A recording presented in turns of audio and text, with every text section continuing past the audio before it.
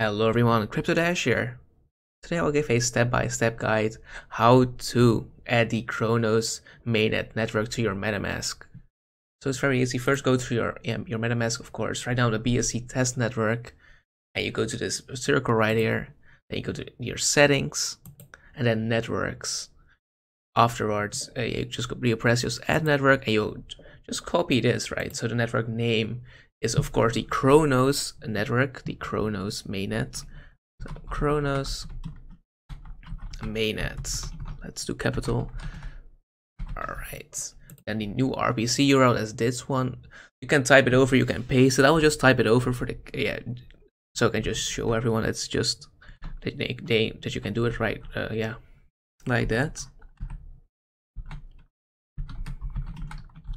I will leave uh, yeah all this information in the description. I'll also link the website, uh, of the official website of the of crypto of Cronos, crypto.org. So yeah, the chain ID is 25. The, current, the currency symbol is CRO, C R O. CRO stands for the crypto.com token, and then the blockchain explorer URL is the HTTPS, and then Cronos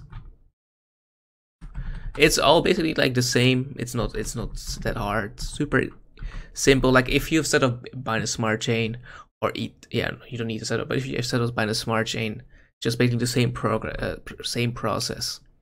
So it isn't that hard at all.